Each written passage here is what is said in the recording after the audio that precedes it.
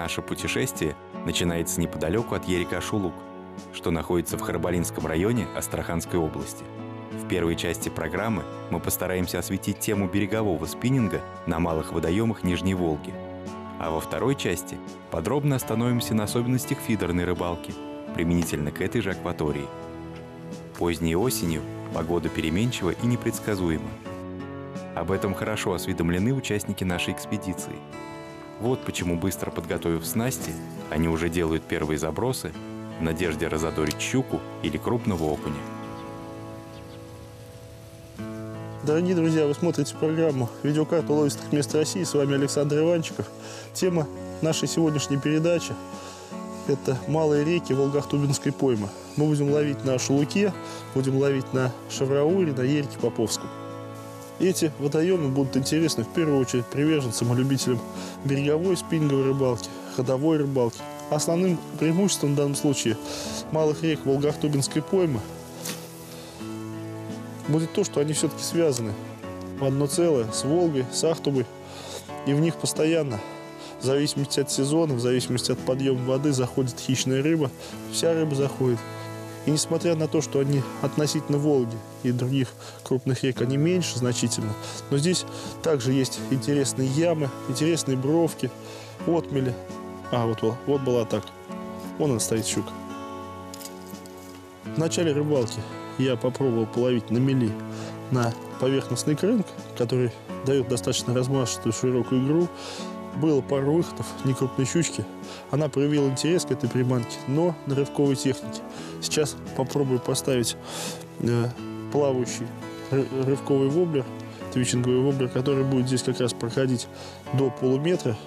Глубина у нас начинается под противоположным берегом, а здесь как раз мель, на которую выходит кормиться щука в середине дня, когда светит солнышко, когда становится достаточно тепло.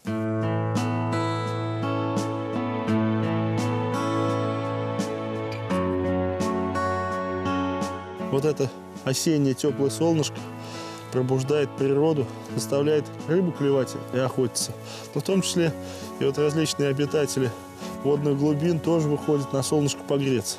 Красивая водная черепаха. Вышла, наверное, на нас посмотреть. Скучно ей в этом водоеме. Хочется чего-то нового. А тут как раз съемочная группа приехала ловить рыбу. Вот она пытается атаковать оператора с камерой.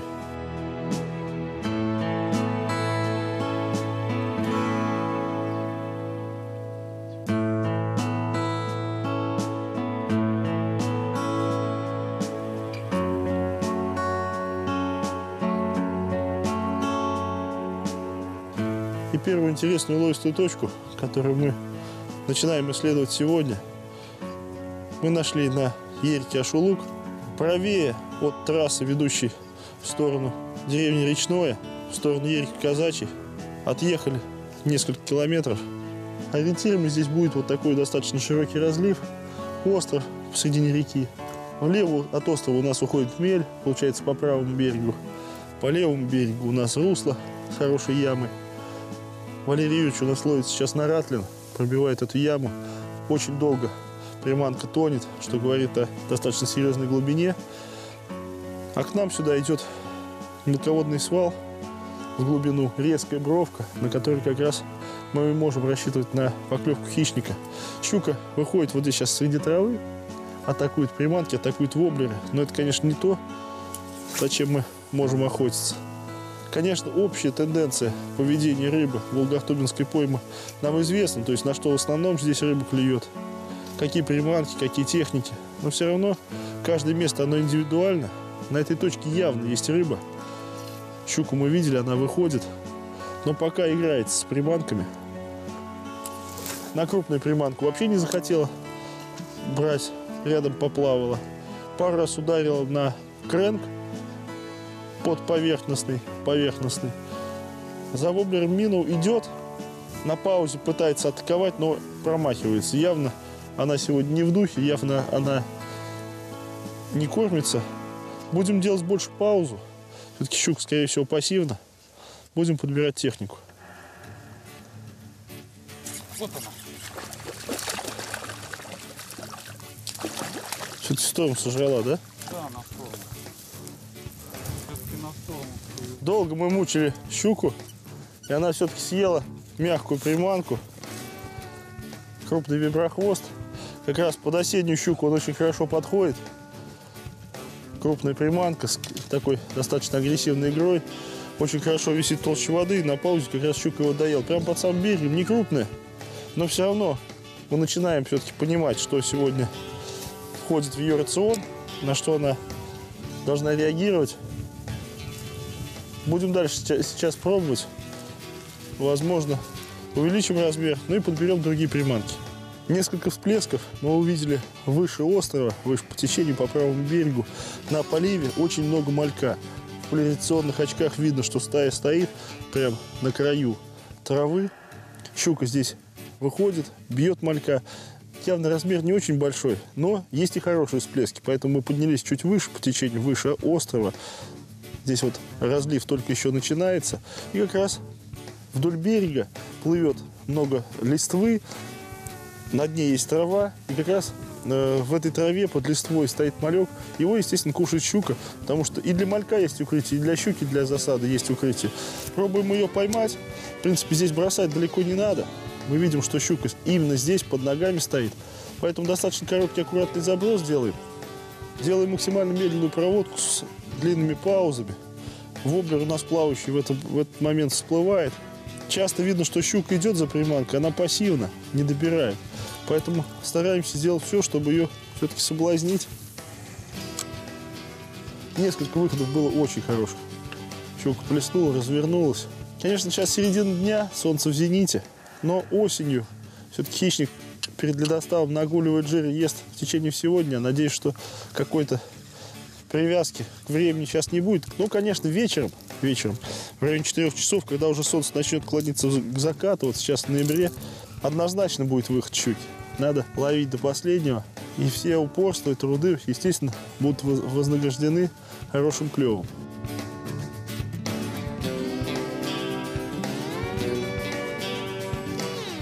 Ага. Есть такая.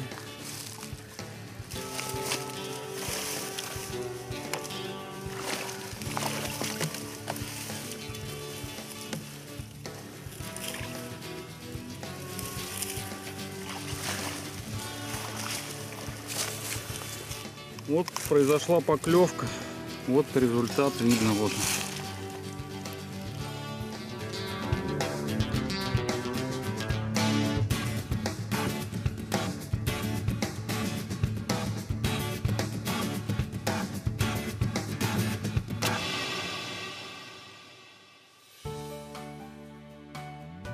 Еще одной интересной уловистой точкой недалеко от Ашулука является Ерик Поповский. Он немного дальше по трассе, в сторону села Речное. Он очень сильно пересыхает, он отшнурован.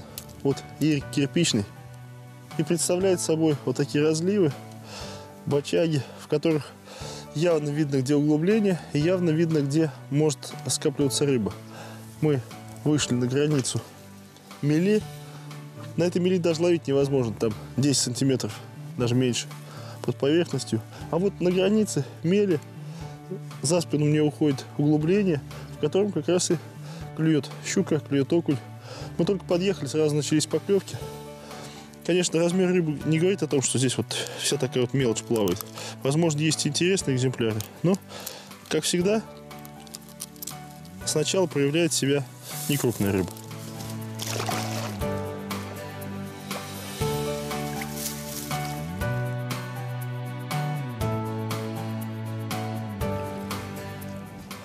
Как мы и говорили, на вечерней заре, когда солнце начинает клониться к закату, щука хорошая выходит на мель кормиться и жадно съедает воблеры.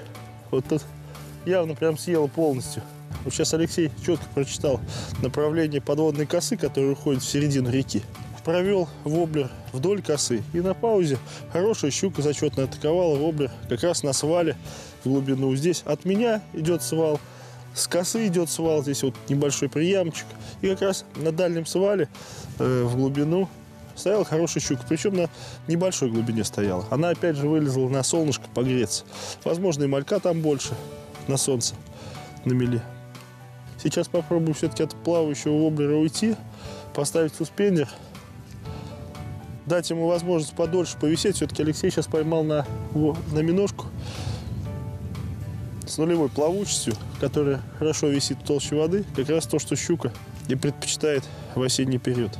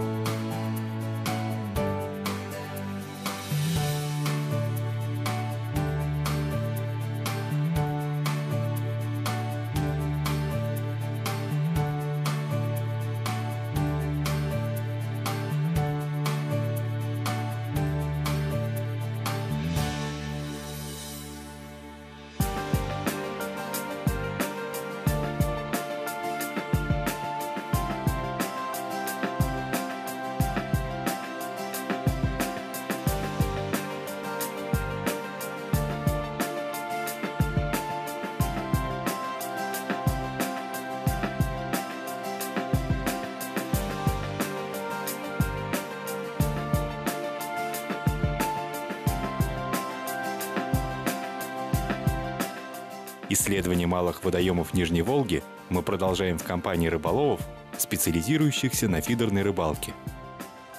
Эксперт программы «Видеокарта уловистых мест России» Олег Квициния познакомит нас со всеми особенностями ловли трофейного карася в осенний период на английскую донную снасть. Есть, есть, есть, есть, есть, хороший мой, хороший, е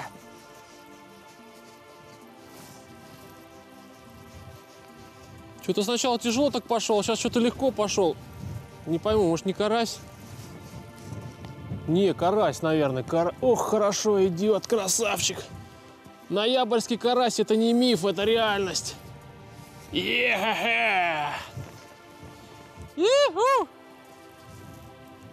Друзья, мы доказали, что ноябрьский карась это не миф, это реальность. Вот он. Изгибает как может мое удилище. Но ничего, мы его повяжем сейчас. Сейчас мы его повяжем.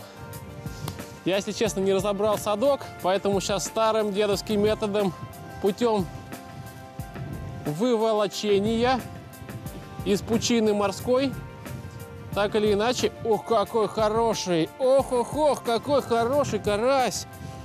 Это килограмм, ребята. Это килограмм. Ё-моё. Вот это килограмм! Я! Ух! Видали таких карасей, друзья? Это местный нижневолжский царь Ериков. Вот за таким красавцем можно приезжать сюда в любую погоду.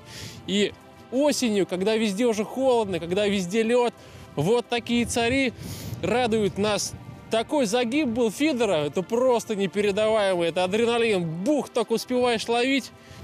Класс, просто класс. И ничто ему не помеха, ни снег, ни дождь. Сейчас такая погода суровая уже. Карась готовится к тому, чтобы начать зимовку, и он наедает, наедает бока. Многие думают, что в ноябре уже такого короля местной, местных белых рыб поймать очень сложно, а нет. Это тот самый период, когда стоит подождать, когда стоит за ним поохотиться. Действительно, поймать его очень сложно, но когда он клюет, это непередаваемая радость и это грандиозная удача, потому что поймать такого белого красавца, такой вот, ну не бронзовый, все любят называть их бронзовыми, такой вот белый слиток белого золота, так я не знаю его назову, это большое счастье. Я быстро сейчас его отпущу в воду. Сегодня мы не используем садок, мы просто покажем вам, что нам еще будет попадаться. Ну, вот то, зачем мы сюда приехали. Mission possible. Эх, плыви, царь!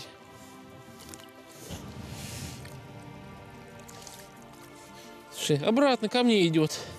Давай, давай. Ты забыл, где у тебя дом? Не забывай.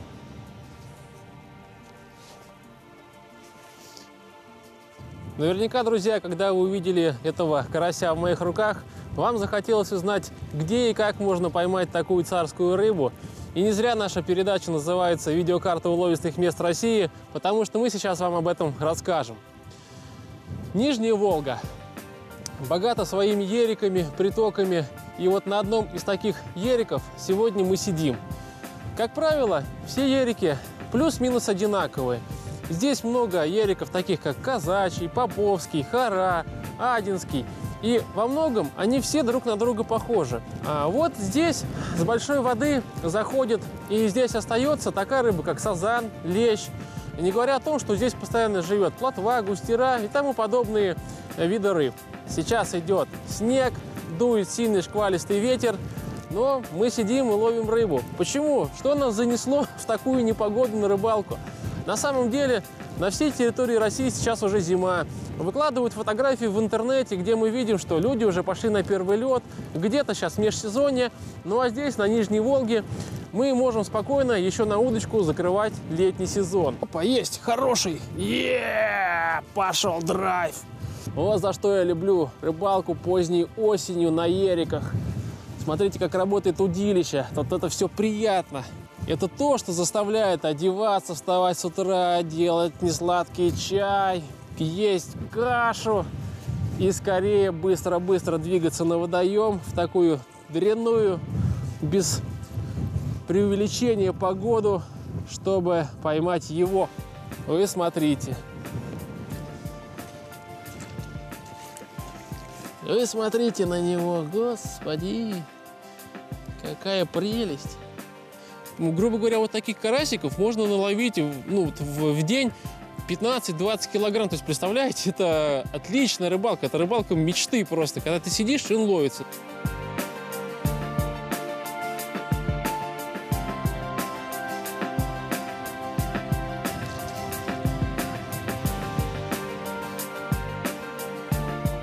Такой красавчик.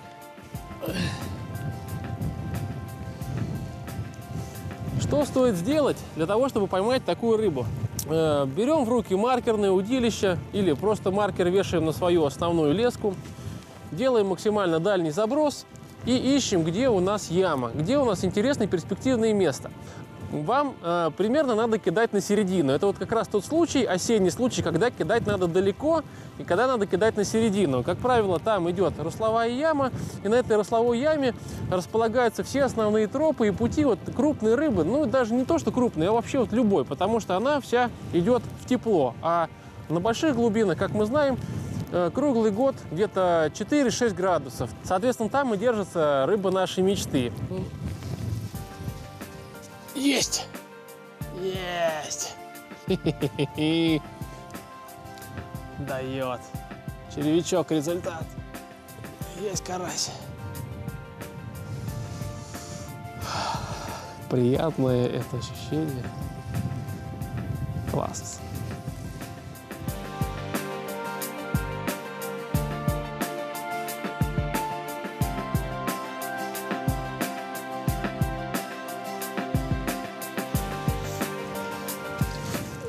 Припаркован. Красавчик припаркован. Великолепный пучок червяка. Он не смог устоять. Также хорошо клюет. В общем, что и говорить, в осенний период, конечно же, карася привлекают в первую очередь протеиновые приманки, червяк, опарыш. Великолепная рыбка.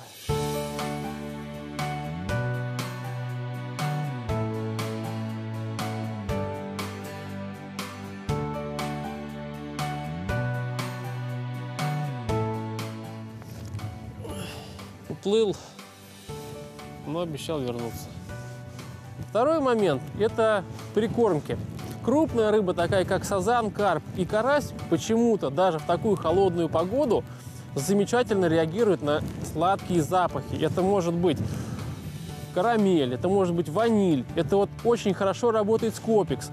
Ну а, соответственно, как десерт уже к этому сладкому, к сладкой, к сладкой прикормке, вы подаете червячные наживки, опарыши, мотыля подкладываете, рубленого червячка. Это то, что привлечет именно крупную рыбу на точку.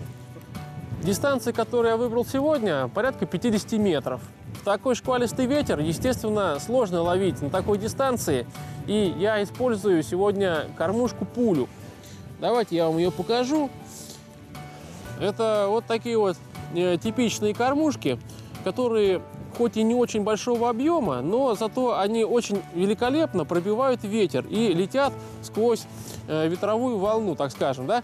Э, вот, поэтому с такими кормушками, скорее всего, вам придется столкнуться, если вы хотите э, хорошо и успешно рыбачить вот в такую непогоду. Вот что, в принципе, часто в приловах попадается. Это вот такая вот густера. Она практически на всех ериках вездесущая. Когда-то давно я ее любил. Теперь она мне уже порядком поднадоела, потому что она вот сильно вездесущая. И я ее быстренько выбрасываю для того, чтобы освежить свою насадочку и вновь начать ждать поклевки карася.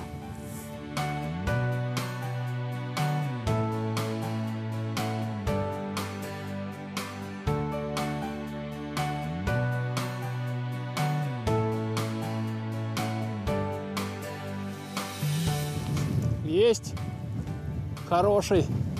Ох, ох, ох, ох, ох. Ух, давит, монстр. Вот здесь немаловажно использование монолески, потому что плетеная леска бы, она бы подвела бы, рыба сошла бы. Потому что она вымотала бы сразу бы сейчас фрикцион до клипсы. И все, и она бы сошла бы, я бы не успел среагировать. А вот монолеска, она тянется. Это очень важно, когда ловишь крупную рыбу. А так как мы сюда приехали именно за крупной рыбой, я так и планировал, что буду ловить на моночку. Так, сдвинулся, сдвинулся монстр с места. Монстр. Просто, просто монстр. Огромный, просто огромный карась. Это просто...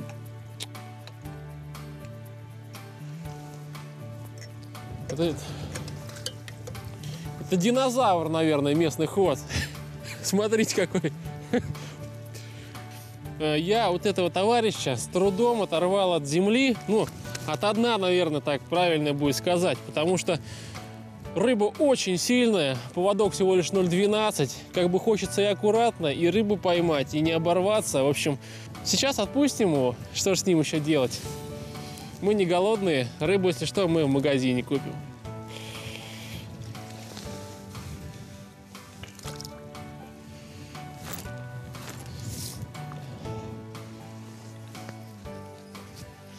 Она, рыба здесь. Ух, хорошо. По поводу прикормочных смесей. Рыба здесь не избалованная. Она, в принципе, будет ловиться на любую прикормку. Э, Особенно, если эта прикормка будет сладкая. Важно, чтобы в этой прикормке э, была крупная фракция, потому что карась рыба не маленькая. Может подойти и сазан. Э, Соответственно, надо учесть обязательно два этих фактора. Прикормка также может быть светлого тона, потому что много мелкой рыбы, и мелкая рыба будет вас одолевать. Если вы хотите половить именно трофейную рыбу, да, я думаю, что все хотят половить трофейную рыбу, то используйте прикормки светлых и желтых тонов. По насадкам тут всегда отлично работает червь и опарыш. Мельчить э, с мотылем, я думаю, не стоит, это лишние хлопоты. Летом вам также может пригодиться кукуруза. Я думаю, друзья, что я вам дал максимально универсальный совет, и он действительно работает по всем ерикам э, Нижней Волги, потому что они действительно однотипны. Ну а сейчас я вываживаю своего последнего трофейного карася. Какая рыба, а? Прелесть.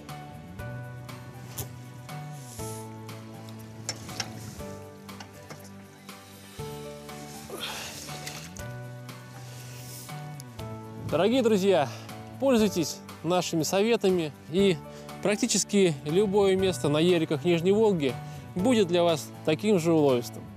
С вами была передача «Видеокарта уловистых мест России». Олег Яциния. До новых встреч!